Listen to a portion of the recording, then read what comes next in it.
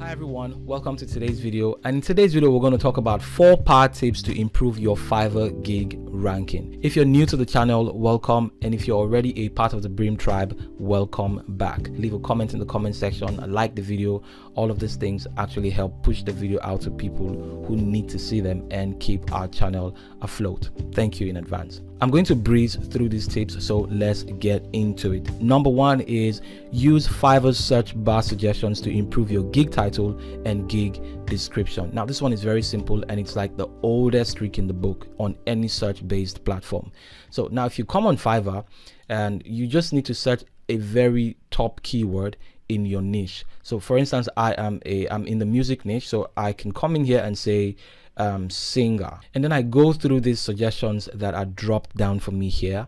And you can see um, I have a bunch of them. This is basically what people are searching, what buyers are mostly searching when they come to look for singers. So what you simply do is use some of these things in your title because these are things that people are looking for. And you also want to, this also tells you the, maybe the genre of music that people are mostly searching for. And here I can see EDM is there. I can see pop.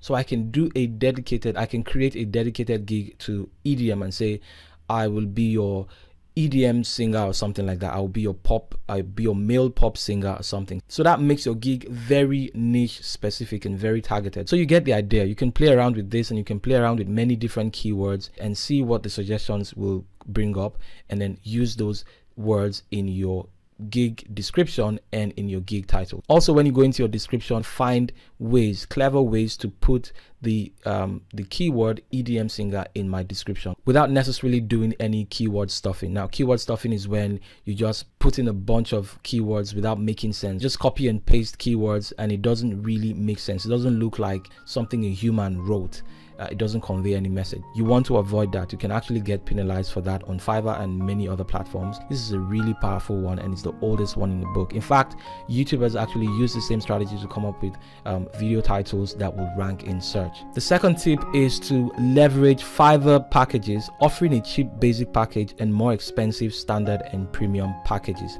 Now, what this does is it improves your impressions and click-through rate. So what I see most people do is um, they would have their base packages or their basic packages very expensive. Well, expensive is relative so but you want to look at what's in your niche. Like you want to look at other gigs in your niche and decide um, what is the base point or what is the average. It could be like the highest maybe $50 and the lowest maybe $5 so you want to find a sweet spot. You don't want to be too cheap but also you don't want to be too expensive.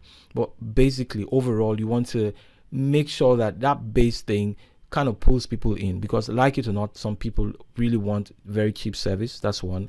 Another thing is even the big buyers, the big spenders, they actually want to sometimes test out your work with a simple, your basic package, and they don't want to spend too much on that because they know that they're going to actually go on to purchase the premium or the standard, which will be more expensive, which will be what they want, but they just want to test you out. So if your basic package is cheap enough for them to do that test, then it's going to improve your impressions, it's going to improve your click through rate, and potentially increase your overall sales. So think of the basic plan as your magnet, not necessarily where you make the money. Okay, moving on, the third tip is gig video.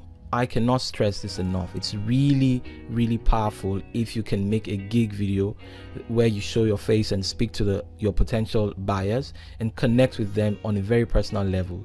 You can write really great descriptions, you can make really great titles, but nothing beats a good video where people see the the face behind the brand people really want to connect with the person who's actually doing the work for them so if you can speak with them show your face on camera then this will be really powerful to drive um, more traffic and drive your sales up now, granted, this will not be for everybody. There are some people who are just not really good at um, showing up on camera.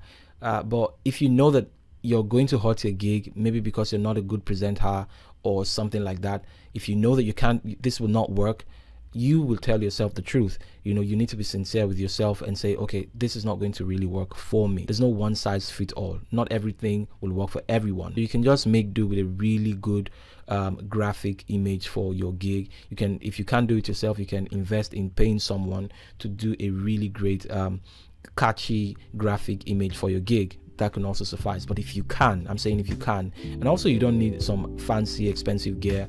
You can shoot something on your phone but just be natural as possible engage with your potential buyers. Last but not the least is to experiment a lot. If your gig is not getting traction then it simply means that most or all of the things that you have are not working and possibly you need a total overhaul. So I'm talking your profile pictures, your gig images or gig videos, your title, your description, you know, and all of those things that really put your gig together. So if for a long time you're looking at your impressions, and I also implore you to look at your analytics from time to time so that you see where you're at and see your impressions, your click through rate. You want to look at where they are and see if your gig is actually even being seen by anyone. But so if it's static for a while, then you know that you need to make some changes and experiment with different titles, with different gig descriptions, with adding more keywords, with um, looking at your gig in the back end to see if maybe you're in the proper category and subcategory and all those small things. I know that this happened to me one time um, in one of my top ranking gig right now on Fiverr. At first, it wasn't doing so well, and at some point, I decided to just go and do this overhaul. And I changed a lot of things, rewrote the entire description, changed my title and everything. I used the strategy, the first strategy I showed you guys, search bar suggestions, and really dialed in my my title. And before long, I started to see my impressions went went up. I started to see my click through rate went up, and and I started to get a lot more orders. Experiment a lot. Don't just do one thing and expect that that thing, that first thing you did, that first title you chose is going to fix everything. Is the is the perfect one? No, sometimes it may not be.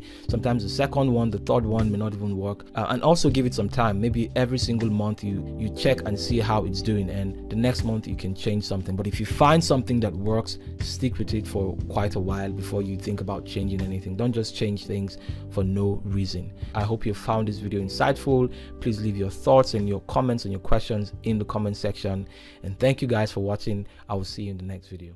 Take care